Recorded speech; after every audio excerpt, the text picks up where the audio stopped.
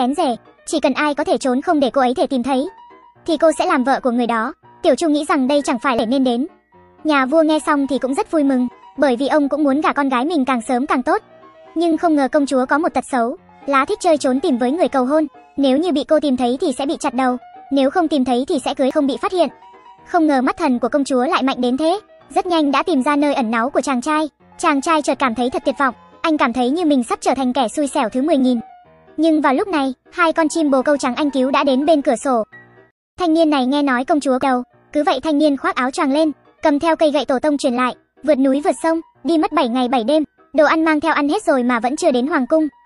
Bơ mà các động vật giấu ở trên gác mái không thấy tung tích đâu. Hồ ly vì để tìm được hung thủ thực sự đã lấy trộm bơ, đề nghị mọi người, đêm nay hãy cùng nhau nghỉ ngơi quanh đống lửa, đợi đến khi bụng của ai chảy ra bơ, người đó chính là hung thủ thực sự. Mọi người nghe xong cũng cảm thấy rất có lý, thế là nghe theo sắp xếp của con cáo, cùng ngủ quanh đống lửa. Ai ngờ một đêm trôi qua, xuất hiện dấu vết của bơ lại là trên người của chú gấu thật thà nhất. Chú gấu vội vàng giải thích rằng mình không ăn cắp bơ, nhưng con cáo lại nhận định chú gấu chính là hung thủ. Con gà trống ở bên cạnh cảm thấy có gì đó sai sai, thế là đề nghị làm lại một vòng nữa để phòng xuất hiện tính tình cơ.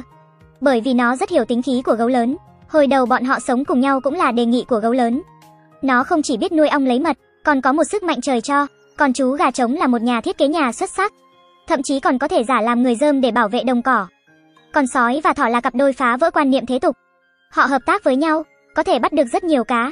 Tất nhiên có những lúc cũng phải chú ý, nếu không cá thì không câu được mà còn bị nuốt ngược lại. Với sự hợp tác cẩn thận của họ, cuộc sống cũng khá là an nhàn thú vị. Hôm đó gà trống đề nghị muốn mua một con bò sữa. Không chỉ vì có thể sản sinh sữa bò khiến mọi người uống đủ, và hơn thế còn có thịt bò ngon. Ai yêu không đúng, là có thể làm ra sữa bò và bơ. Mọi người đều gật đầu tán thành. Sau đó gà trống, cấu lớn và sói mang một xe mật ong.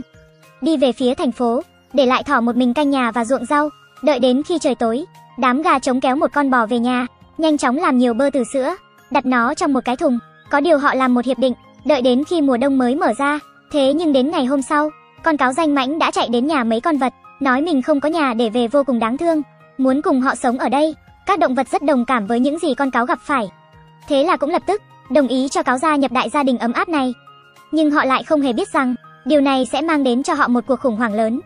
Con cáo này vô cùng thông minh, đối xử tử tế với mọi loài động vật, để các loài động vật cũng rất hài lòng với sự gia nhập của nó. Chẳng mấy chốc thời gian đã đến mùa đông, bên ngoài trời tuyết cũng bắt đầu rơi.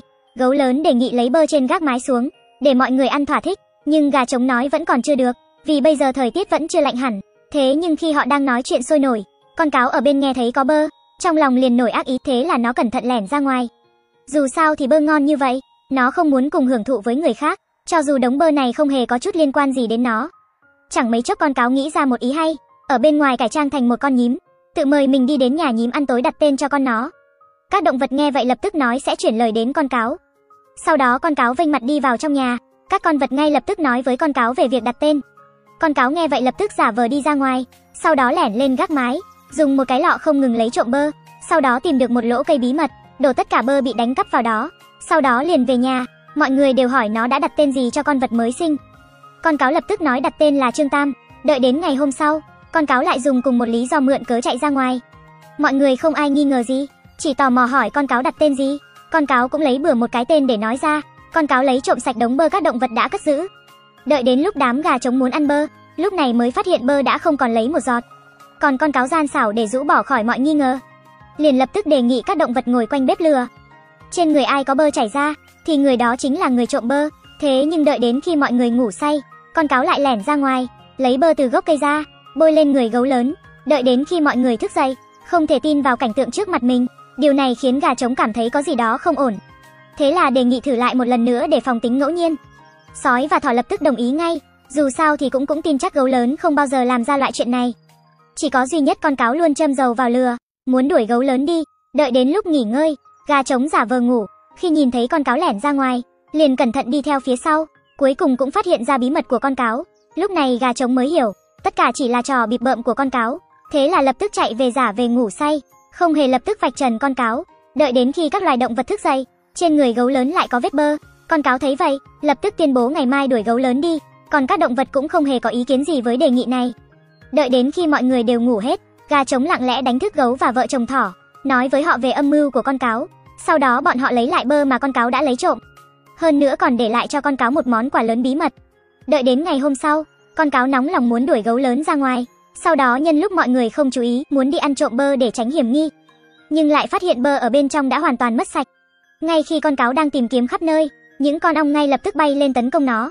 Con cáo sợ hãi chạy loạn lên, còn các động vật ở phía xa nhìn thấy cảnh này trong lòng bọn họ cũng cảm thấy được chút giận. Vì vậy mới nói làm việc bất nghĩa ắt gặp quả báo, mọi người nhất định đã mở rộng tầm mắt, tuyệt đối đừng bao giờ làm ra chuyện bất lương.